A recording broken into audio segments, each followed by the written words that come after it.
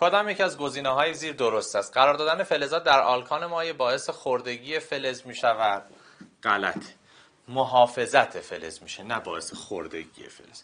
گوجه فرنگی رسیده دومین عضو خانواده آلکن ها را آزاد می‌کنه. گوجه فرنگی رسیده اتن از خودش آزاد می‌کنه. اتن اولین عضو نه دومین عضو. غلط. حالت فیزیکی فراورده حاصل از ترکیب اتن و برم با حالت فیزیکی پنتان در دمای 22 درجه یکسانه. خب اتن و برون فراوردهش چیه؟ گازه. ببخشید اتن و برون فراوردهش مایع است.